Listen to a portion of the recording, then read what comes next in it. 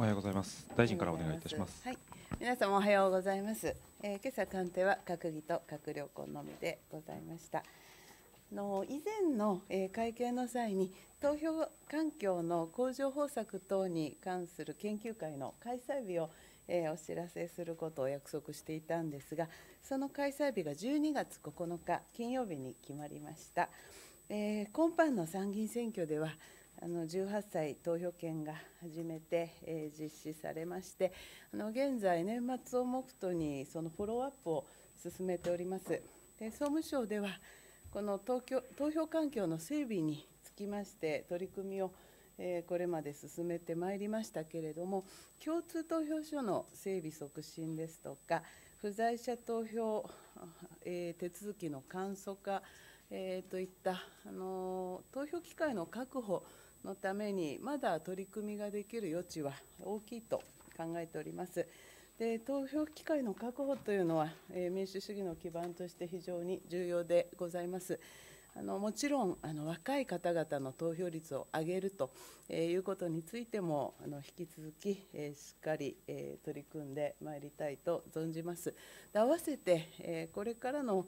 あの高齢社会の進行ということを見据えた場合に、えー、歩行が困難で在宅で介護を受けておられる方で投票に行きたいのに行けない方の投票機会の確保も非常に重要だと考えております。まあ、このため選挙の公正をあの保ちながら、えー、郵便等投票制度の拡充が、えー、できないかこの研究会で議論を深めていただきたいと考えております。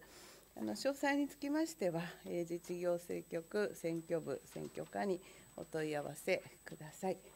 冒頭、私からは以上です。幹事社の共同通信の佐伯です。えー、一問お伺いいたします。配偶者控除についてお伺いいたします。控除の対象となる配偶者の年収制上限を引き上げて、高所得世帯に年収制限を設ける方向で見直しの議論が進んでおります。この案では所得税と異なって、個人住民税に減収が生じるのではないでしょうか。生じた場合にどう対応するお考えでしょうか。お聞かせください。はいの現在、与党の税制調査会で個人所得税改革の一環とえー、してこの配偶者控除見直しについて精力的にご議論をいただいていると承知しています。で私は配偶者控除につきましては、まあ、女性活躍の観点からも、えー、それから年末の繁忙期に、えー、あの従業員の方に急に休まれて、えー、しまう、まあ、事業者の方々の困難を解消するという観点からも、あの就業調整を行うことを意識しなくて済むような、えー、仕組みの構築そのものは必要だと考えています。あの個人住民税における在り方についても、えー、丁寧な議論をしていただくということを期待しています。でこの個人所得課税改革ですが、平成28年度税制改正大綱に明記されていますとおり、税収中立の下で検討することと、えー、されておりますので、地方財政に影響が生じないようにするということが重要だと思っております。まだあの税調の議論、まあ、しっかりと注視をしたいと存じます。各社さんお願いします。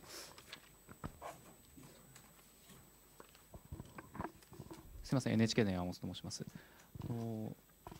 大臣、先ほど冒頭おっしゃられたですねあの投票環境の向上方策の研究会についてなんですけれども、の議論としてはいつ頃までにこうまとめてもらいたいというお考えか、もしあとですねその例えばこういうことを、まあ、実現していくにあたって、まあ、制度上ですとか法令上こう改正が必要になってくるものなどお考えがあればお聞かせください。はい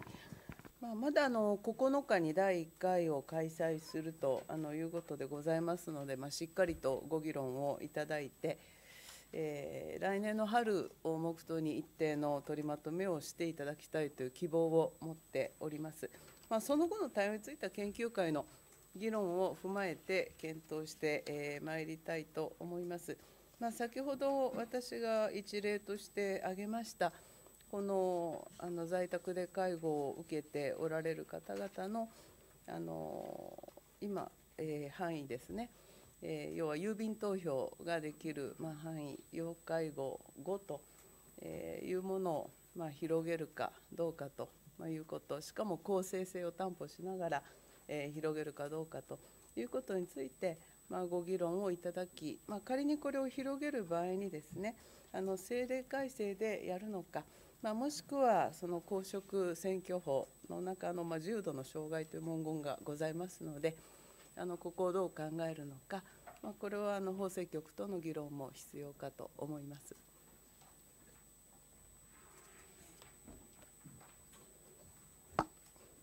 新聞の上栗です。あの NHK のですね会長選びがですねあのまあ大詰めを迎えているんですけども、まあえ、ー、と来期どうなるかにかかわらず現もみ会長はですね来年の1月24日でまあ今回任期を迎えるわけですけれども、まああのこの間、えー、3年連続でですねあの予算が全会一致にならないなどですねいろいろまああのもみさんに関してはえー、いろんなことがありましたけれども、この間の尾身さんについてですね大臣としてどのように評価されているか、この機会にお伺いできませんでしょうか。あのちょうど現在あの次期会長の選任についてですね、まあ、放送法に基づいて、えー、経営委員会が任命するということですから経営委員会の指名部会で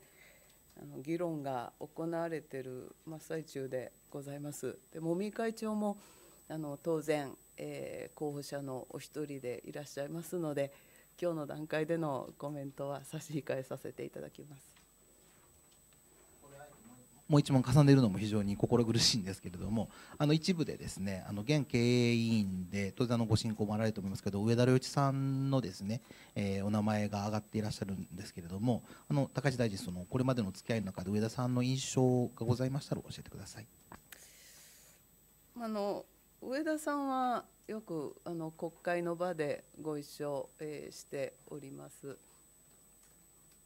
ということであの存じ上げては、えー、おりますけれども、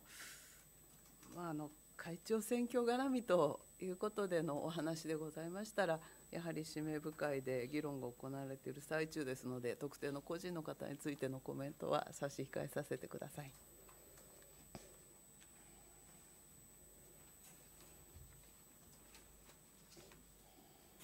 読売新聞の松下と申します。えー、安倍首相が26、27日にハワイのオアフ島を訪問し、真珠湾に入れに出かけられることを発表しました。えー、大臣の所感があればお願いします。はいあの昨日あの非常に夜のニュースでも、えー、盛り上がり、まあ、多くの方々から、まあ、歓迎のあの声が上がっていたと思います。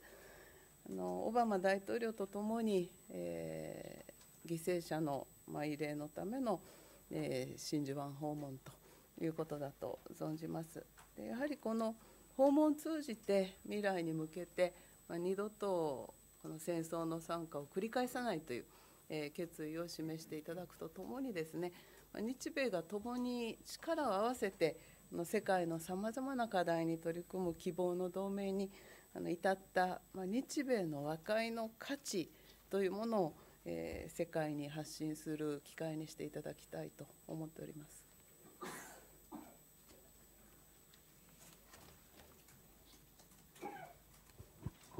あすみません、産経新聞の高橋です。あの郵政でお伺いしたいんですけれども、はい、あのゆうちょ銀行にあの住宅ローンなどの新規業務を認めるかについて、あの麻生財務省があの審査能力や融資能力があるのかというような疑問を呈されたみたいなんですけれども、この発言についてあのご見解があればお願いします。うん、まあ、あの麻生財務大臣、え、の発言については、あの報道では承知しておりますが、まあ、直接伺っておりませんので、あのコメントは差し控えさせていただきます。まあ、その上であのゆうちょ銀行の新規業務ということにつきましては、郵政民営化法に基づいて、あの他の金融機関等との適正な競争関係、えー、および役務の適切な提供を阻害する恐れのある有無ということが審査されていますので、まあ、仮にあの麻生大臣から、えー、そのような形でご発言があったとしたら、まあ、そのことを指しているんだろうとあの推測をいたします。であの私自身はですね平成24年9月3日にこれゆうちょ銀行から申請のあった新規業務の認可でございますので、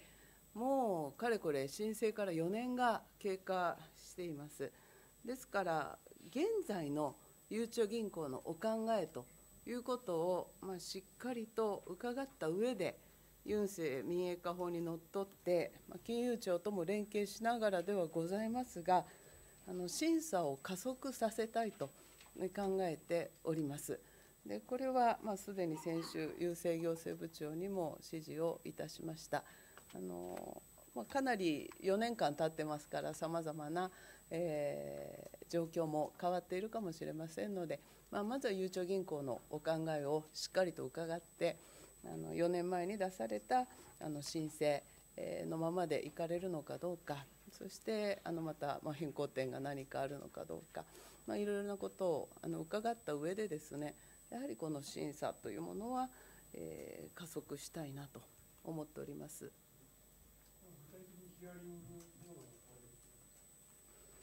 まあ、これもあの金融庁の方でも当然あの審査、ヒアリングをしていただいているとはあの思うんですけれども、まあ、総務大臣としてやはり、うんまあ、4年以上この申請があったままで、えー結論が出ないということは決して好ましくないと思っておりますのであのゆうちょ銀行のお考えも伺い金融庁ともしっかり連携しながら審査を加速させたいというのが今の私の気持ちでございます。